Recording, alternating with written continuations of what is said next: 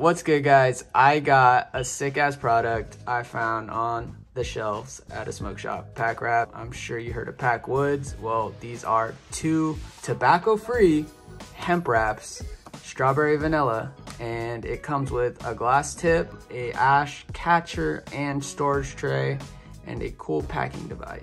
They teamed up with Twisted Hemp, which is a tobacco free hemp wrap. This is the packaging when you open it up. Um, it is a dope way of packing or rolling up your roll. See the directions right here. You can pause if you need to. Let's roll this bitch up. Oh, it's like a Ziploc Mylar bag. You see here, you have the hemp wraps and then you have your glass filter and then you have the packing tool with the packing stick. Your two hemp wraps, you got your packing tube, you got your packing tool, and you got your glass filter. You basically hand break down your flower, pack the packing tube, put the glass filter, put them together, and I'll just show you.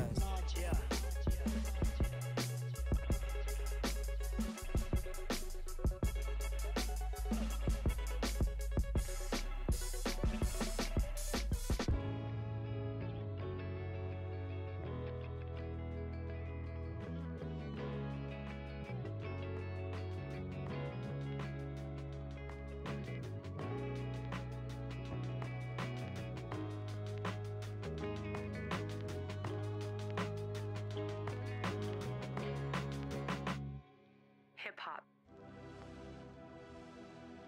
I swear this music in my jeans like denim. Lyricism see venom like venom. Yes, I know the flow hotter than Lucifer, even though heaven sent him. Uh, see my vision as I've elevated and risen. Open your eyes, despise lies, turn with deadly precision. I finally made my way up out that section 8 division. Not by busting and killing, though I've had my share of stealing. But by putting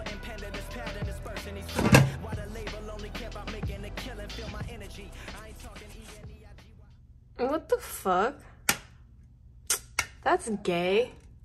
Alright, after further review with the pack wraps, I'm gonna give it one more chance. Helper's gonna give it one more chance. That's two more chances right there. And I'm also gonna put it up against just rolling it in a glass tip in a hemp wrap and see how that compares. Because their method sucks. And looking at videos online, other people were having the same problems. The video that Pack Wraps makes makes it look so easy, but they use a bunch of smoke and mirrors and cuts and all that in their videos, so you can't really see exactly what they're doing. So we're gonna give it one more chance, two more chances technically, and put it up against regular rolling technique. So peace.